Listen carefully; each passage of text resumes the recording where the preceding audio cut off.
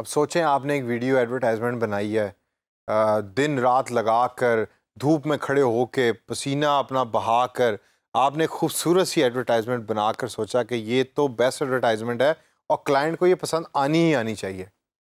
अब वो बन गई, सब चीज़ें हो गई प्री प्रोडक्शन हो गई, प्रोडक्शन हो गई पोस्ट प्रोडक्शन हो गई और आपने अपनी एडवर्टाइजमेंट क्लाइंट को भेज दी कि भाई ये मैंने बना ली है और अब मैं इसको पोस्ट करने लगाऊँ या एडवर्टाइजमेंट के तौर पर चलाने लगाऊँ। और आगे क्लाइंट की दो लाइनों की ईमेल का रिप्लाई आता है कि मुझे तो ये जो आपने ऐड बनाई है वीडियो बनाई है, वो बिल्कुल पसंद नहीं आई। तो सोचें आपके दिल के ऊपर क्या गुजरेगी। फ्री लांसिंग की दुनिया में ये प्रॉब्लम बहुत सारे फ्री लांसर्स को फेस होती है। और मैं इसी वजह से अक्सर और बार बार ये सजेस्ट करता हूँ कि हमेशा फीडबैक लें, हमेशा फीडबैक लें और अपना जो काम आप कर रहे हैं, उसको गाहे बगाहे और स्टेप बाय स्टेप दिखाते रहें क्लाइंट को ताकि क्लाइंट को पता हो कि आप क्या कर रहे हैं। जब आप ये कर रहे होंगे तो इसका सबसे बड़ा फ़ायदा आपको ये है कि क्लाइंट विल ऑल्सो भी पार्ट ऑफ़ जो आप काम कर रहे हैं। तो रिस्क जो है, वो सारा शेयर हो जाएगा between client and a freelancer लेकिन अगर आप ये काम सारे का सारा खुद अकेले कर रहे हैं तो फिर क्लाइंट की तो कोई रिस्पॉन्सिबिलिटी है नहीं। ना क्लाइंट को ये फ़िक्र है, ना पता है कि भाई, बिजली कितने घंटे आ रही है और पंखा चल रहा है कि नहीं चल रहा और गर्मी में बैठ के आपने काम किया है। उसने तो कहते हैं ना, मुझे काम पसंद नहीं आया, भाई इसको सारे को सारे को दोबारा बनाओ। और फिर आपको सारा काम दोबारा बनाना पड़ेगा। फ्रस्ट्रेशन भी होगी मोटिवेशन भी ख़त्म होगी और काम भी ठीक तरीके से नहीं होगा। तो इस सेशन के अंदर मैं आपको थोड़ी सी टिप्स देता हूँ कि जब आपने वीडियो एड्स बनानी है तो क्लाइंट से आपने किस तरह बात करनी है और किस किस स्टेज के ऊपर क्लाइंट्स को आपने वो वीडियो एड्स भेजनी है रिव्यू के लिए और किस तरीके से आप अपना जो रिस्क है, उसको कम कर सकते हैं। तो सबसे पहला जो पॉइंट है, वो है कि don't just send the video include a rationale. इसका मतलब क्या है? इसका मतलब ये है कि जो आप वीडियो भेज रहे हैं, वो आपने वीडियो भेज दिया नीचे लिख दिया कि this is the video which I created ज़्यादातर होता यही है। फ्री लांसिंग वाले जो हैं, वो ईमेल कर देते हैं कि भाई ये ऐड बन गई, इसको देख लो और अप्रूव कर दो। ये भी एक लाइन होती है नीचे। ऐसा कभी नहीं करना आपने। हमेशा जब आप वीडियो भेज रहे हैं तो वीडियो के साथ आपका प्रॉपर रैशनलाइजेशन होनी चाहिए जस्टिफिकेशन होनी चाहिए कि किस चीज़ के पीछे क्या रीज़न थी कि आपने वो किया।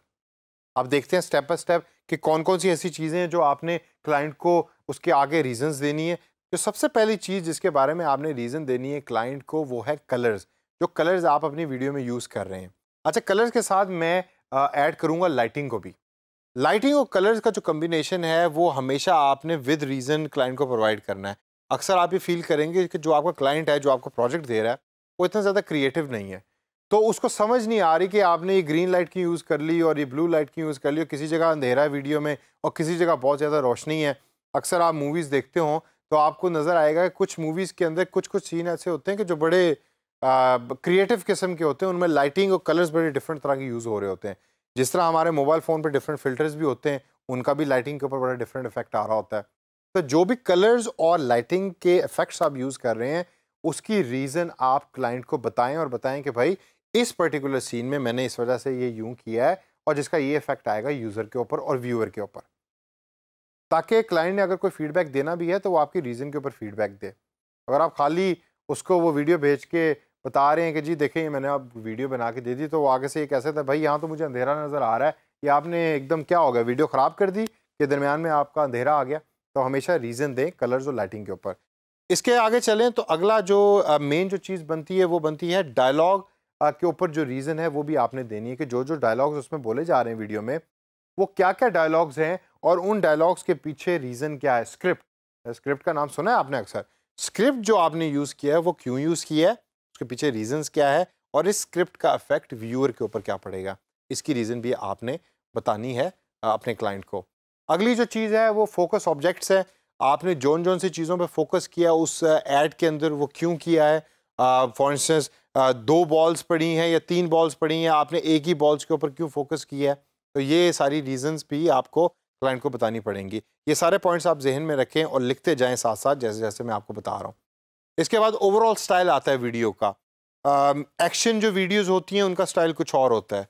रोमांटिक वीडियोज़ का स्टाइल कुछ और होता है। मोटरसाइकिल की जो एड्स होती हैं, उनका स्टाइल कुछ और है और जो घी बनाने वाली कंपनीज़ हैं, उनकी एडवर्टाइजमेंट या इश्तहार का स्टाइल कुछ और है।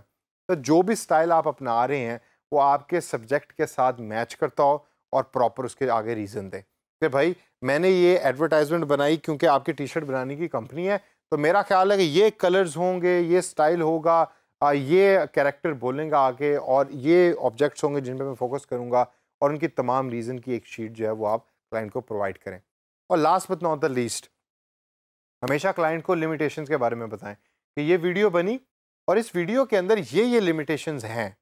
तो अगर आपने इन लिमिटेशंस को दूर करना है तो इतना या तो पैसा लगेगा या इतना इसके ऊपर टाइम लगेगा तो आप खुद डिसाइड कर लें एज ए क्लाइंट और फिर क्लाइंट आपको बता देगा कि अच्छा भाई, मेरे नज़दीक ये वीडियो ठीक है या इसके अंदर ये चीज़ें चेंज कर लो and then you can do that based on the feedback of the client अगली पॉइंट जो बड़ा इंपॉर्टेंट है after going through all these points जो मैंने भी आपको बताए हैं, वो है कि हमेशा जब आपने वीडियो उसको भेजनी है क्लाइंट को तो सबसे पहले ड्राफ्ट से शुरू करें। ड्राफ्ट का मतलब ये है कि वीडियो से पहले जो स्टोरी बोर्ड आपने बनाई, वो भेजें उसको।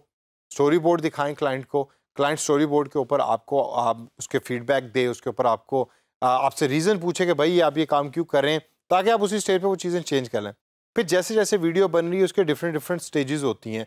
उन तमाम स्टेजेस की ड्राफ्ट्स की वीडियोस ले लेके भेजें क्लाइंट को, ताकि वो साथ साथ उसको देखता रहे before the final form is being produced और वो साथ साथ फीडबैक का फ़ायदा ही क्या होगा? फ़ायदा उसका सिंपल ये होगा कि वो आपको चूँकि फीडबैक दे रहा है फीडबैक आप उसका इंटीग्रेट करते रहेंगे और आपकी वीडियो ठीक से ठीक होती जाएगी ताकि एंड के अंदर क्लाइंट कभी भी आपको ये ना कहे कि भाई ये आपने क्या उठा के बना दिया।